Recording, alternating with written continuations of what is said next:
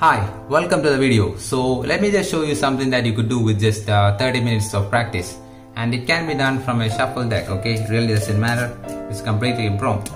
And uh, you will want someone to actually touch a card, okay? So let's say they touch this one, okay? It's completely free choice. It really doesn't matter, okay? So please uh, remember the card, okay?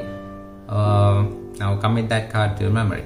Now I'm going to place the card exactly where you took it from. Now I'm not going to shuffle or do anything because maybe you might think if I shuffle during the shuffle I control that card. So I won't be doing that. I'll just leave it exactly where it is.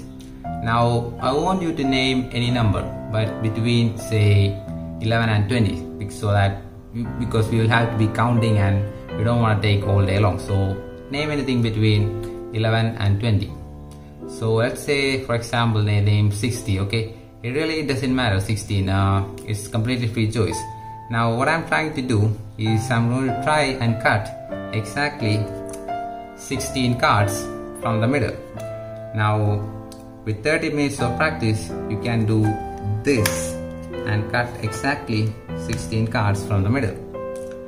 Now I know you might you are not convinced but let's count. See 1 2 3 4 5 6 7 8 9 10 11 12 13 14 15 and 16 cards.